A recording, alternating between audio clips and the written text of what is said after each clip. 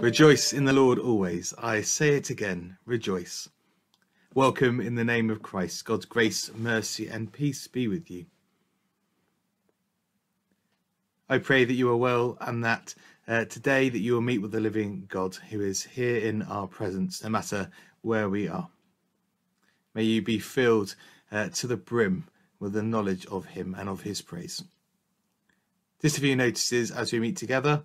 Just to say, if you're watching this in Martin, um, if you'd like to watch this video twice, you can do. But um, there's also the ability to watching to watch this video live um, this afternoon at four o'clock. Just turn up uh, with your mask um, at church at four, and you can watch that there.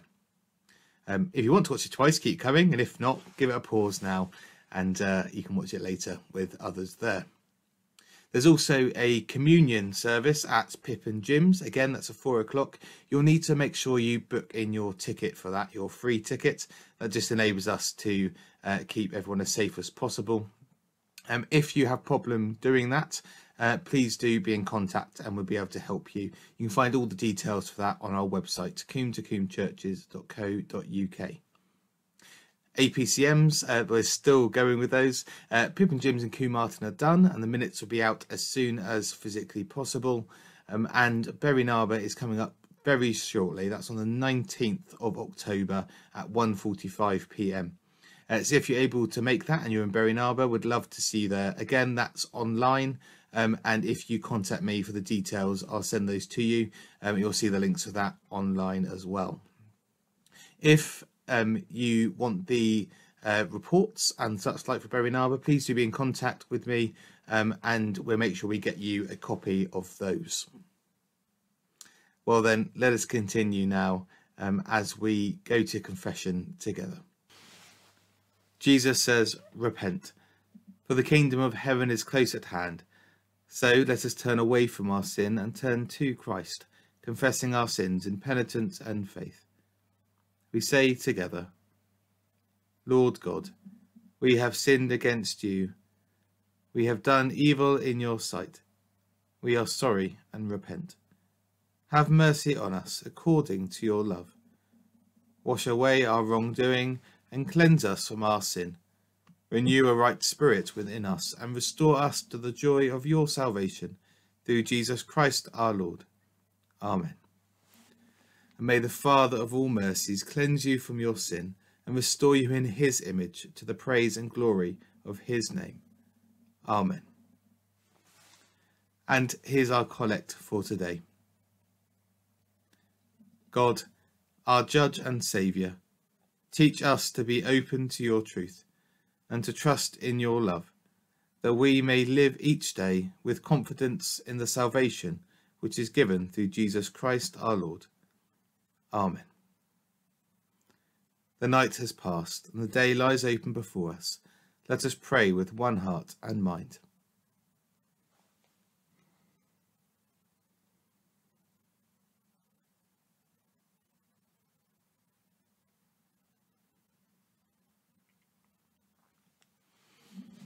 As we rejoice in the gift of this new day, so with the light of your presence, O God, set our hearts on fire with love for you now and forever. Amen. We're going to worship in song together now. If you're watching this on our Benefice website, you'll see the video embedded below this one. If you're watching live at St Peter ad Vincula in Combe Martin, uh, their music will be provided for you. Please pause the video now.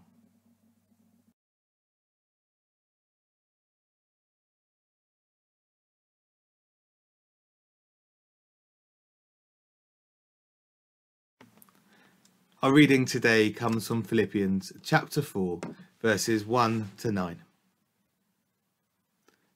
Therefore, my brothers and sisters, you whom I love and long for, my joy and crown, stand firm in the Lord in this way, dear friends.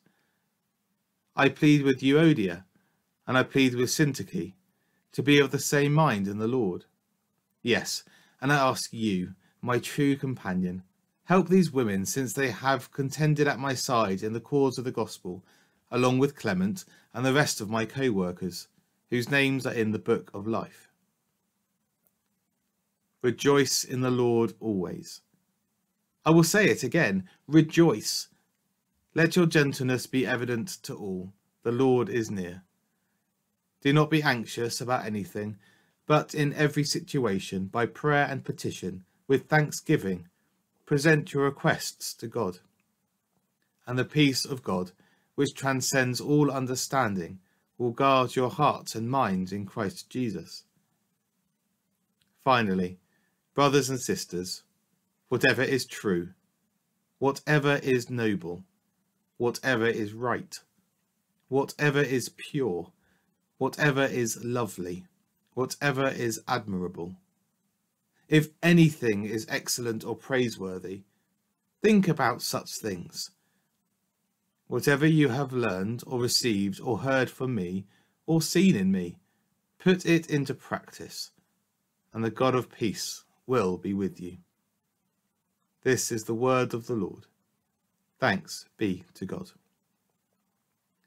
And we continue worshipping together in the words of the Benedictus. Blessed be the Lord, the God of Israel, who has come to his people and set them free. He has raised up for us a mighty Saviour, born of the house of his servant David. Through his holy prophets, God promised of old to save us from our enemies, from the hands of all that hate us, to show mercy to our ancestors, and to remember his holy covenant.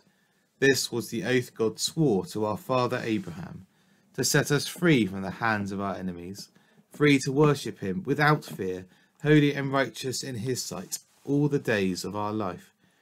And you, child, shall be called the prophet of the Most High, for you will go before the Lord to prepare his way, to give his people knowledge of salvation by the forgiveness of all their sins. In the tender compassion of our God, the dawn from on high shall break upon us, to shine on those who dwell in darkness and the shadow of death, and to guide our feet into the way of peace. Glory to the Father, and to the Son, and to the Holy Spirit, as it was in the beginning, is now, and shall be forever. Amen.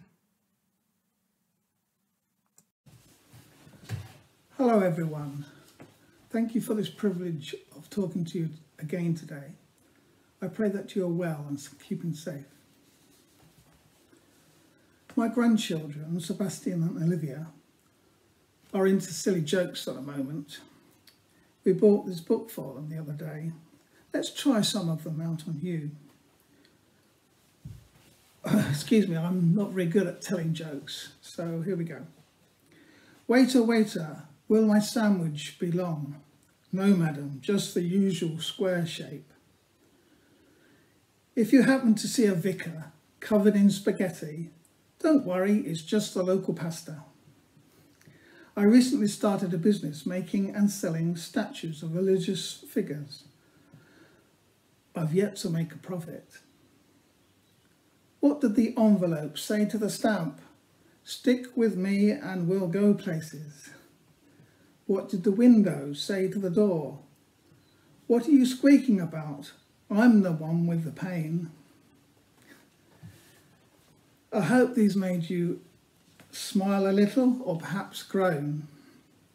Jokes to help, do help to bring a smile to our faces and joy into our lives. How are you all coping with these worrying times? Are you feeling full of joy? I expect not. With more people being infected and dying from this wretched disease. Having to endure tougher restrictions and most of all not knowing when it will all end. If the pandemic has affected you or your family in any way, my heart goes out to you and may God's peace be with you. Frederick Meyer, a 19th century Baptist preacher, observed, Peace is joy resting. Joy is peace dancing. Paul talks a lot about joy and peace in his letter to the Philippians, where our Bible, Bible reading came from today. Not the joy and peace that comes from human happiness and a lack of conflict, but the gifts of the Spirit that come from knowing Jesus as Lord and Saviour. The Hebrew word shalom for peace means well being, completeness, wholeness, being at one with self, with neighbour, and the world. Paul has a particular affection for the church at Philippi. It was the first church Paul founded in Eastern Europe, then Macedonia.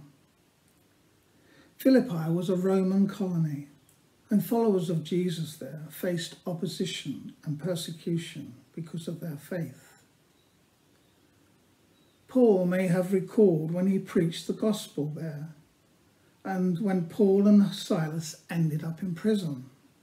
Remember the passage from Acts 16. Instead of complaining, Paul continued praising God, praying and singing hymns. Incredibly, this resulted in the jailer and his household believing, which helped to build up the church in Philippi. We read in Acts 16 the jailer was filled with joy because he had come to believe in God, he and his household.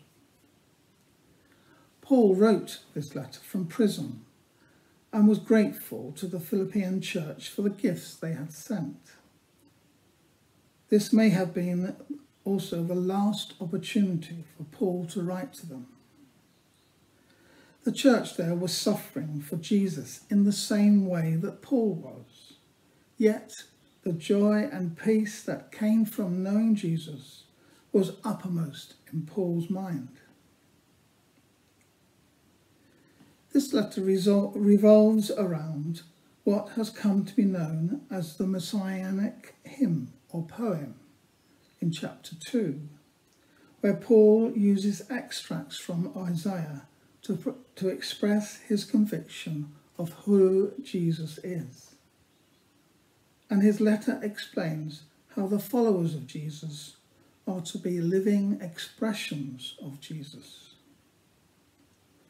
Let's look at today's passage more closely, which comes from the last chapter of Philippians.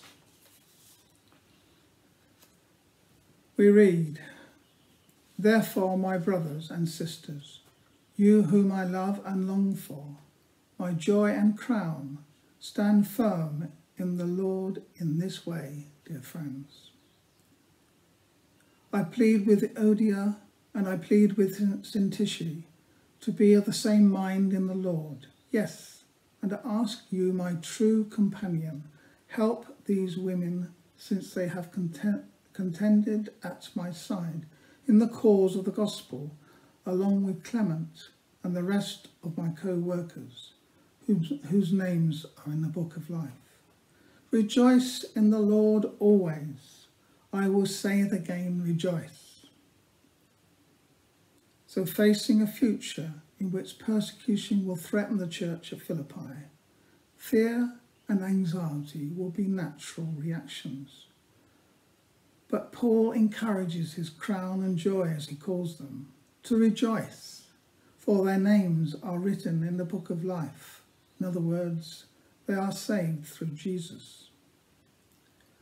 Aware of a disagreement between two church members, Euodia and Syntyche, Paul pleads with them to concentrate not on what divides them, but on what unites them, their love for Jesus. Paul asks his co-workers in the church to help resolve this dispute. Paul continues in the passage, Let your gentleness be evident to all. The Lord is near. Do not be anxious about anything, but in every situation, by prayer and petition, with thanksgiving, present your requests to God. And the peace of God, which transcends all understanding, will guard your hearts and, and your minds in Christ Jesus. Finally, brothers and sisters, whatever is true, whatever is noble, whatever is right, whatever is pure, whatever is lovely, whatever is admirable, if anything is excellent or praiseworthy, think about such things. Whatever you have learned or received or heard from me or seen in me, put it into practice. And the God of peace will be with you. Paul encourages the Philippians and encourages us not to be anxious, but to focus our minds on what is good, to bring our concerns into God's presence, and the God of peace will enfold us. How does this passage help us in our lives as followers of Jesus today? The peace that Paul speaks about, the peace that comes from God, is central to this passage. Being at peace with one another and standing firm and united in our faith. Knowing peace in everyday challenges and in the specific challenges of our Christian faith. Seeking peace by focusing on what is true, good, and lovely, rather than focusing on the challenges and oppositions which we can entrust to God. There is much fear and anxiety about the future today. So the challenge then for us as followers of Jesus today is to bring the message of joy and peace to anyone who is feeling anxious, troubled, or facing uncertainty. We are encouraged not to worry, to offer our concerns to God, to rejoice in all that God has given us, and not to forget that God is always with us whatever we are experiencing. Let us look for the good in everyone and everything. As Paul tells us, look for what is true, for what is honourable, for what is pleasing, for what is excellent. Look for everything worthy of praise. God calls us to be messengers of joy and peace.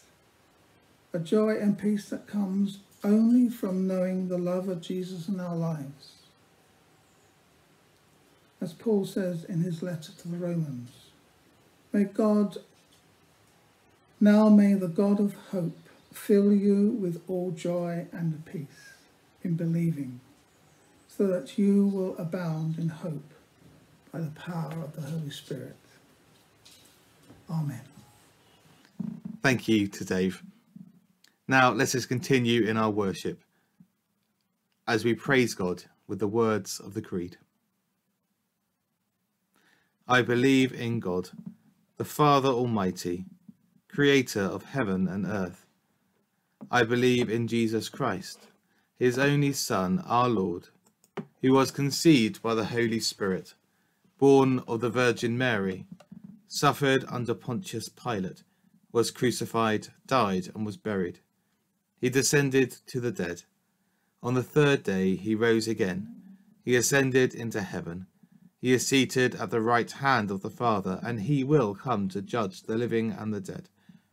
I believe in the Holy Spirit, the Holy Catholic Church, the communion of saints, the forgiveness of sins, the resurrection of the body, and the life everlasting. Amen. Our prayers this week are provided by Elaine at St. Peter's in Narber. Let us pray.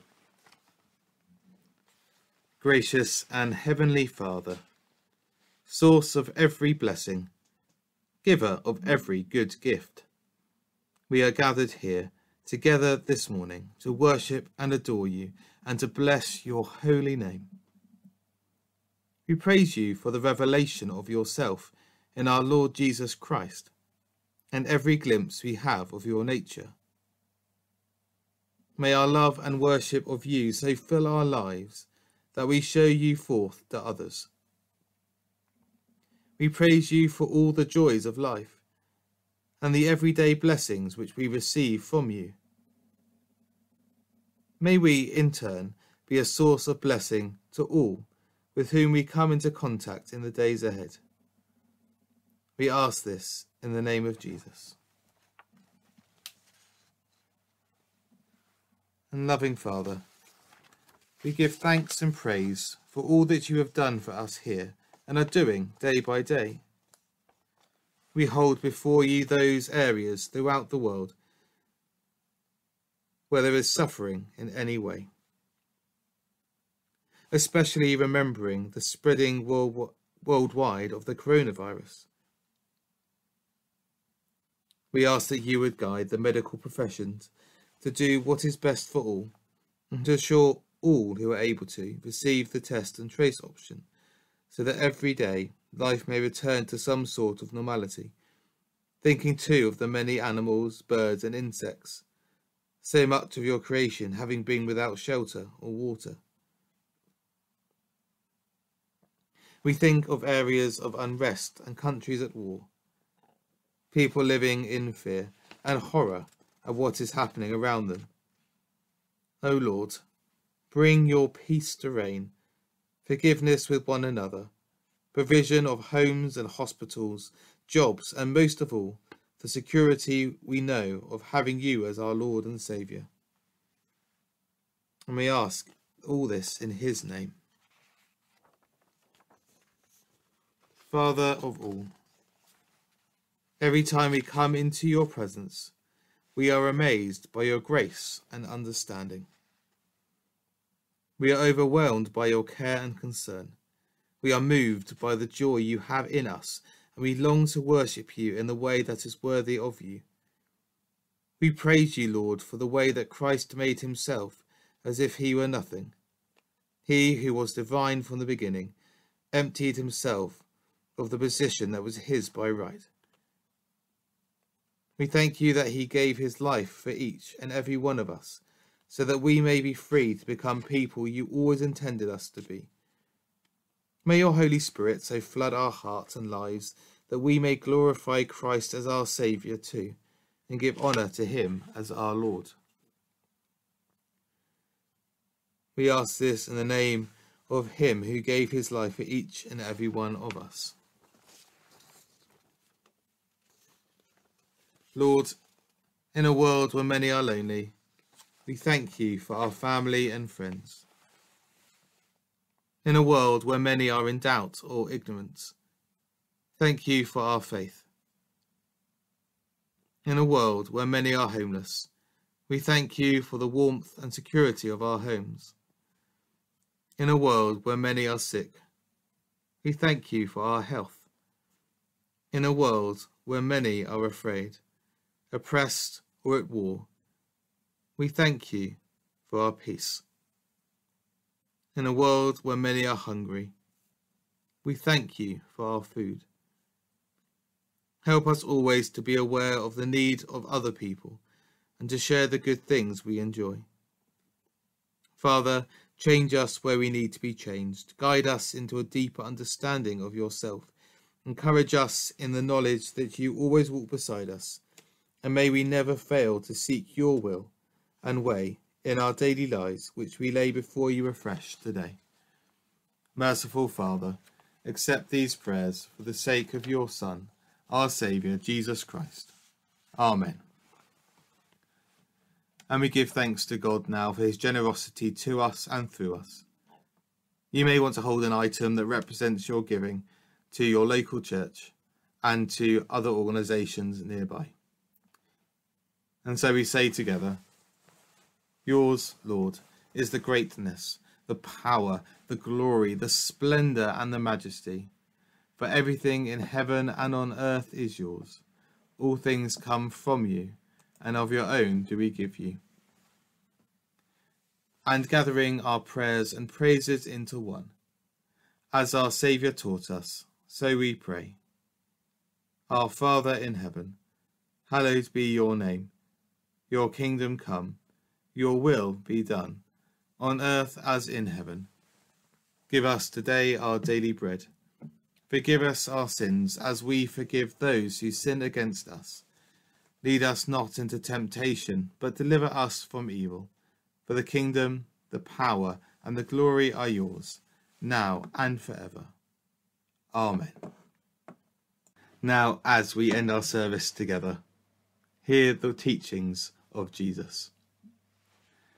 Blessed are those who hear the words of God and obey it. So go and do God's will. And the blessing of God Almighty, the Father, the Son, and the Holy Spirit be with you today and all your days. Amen.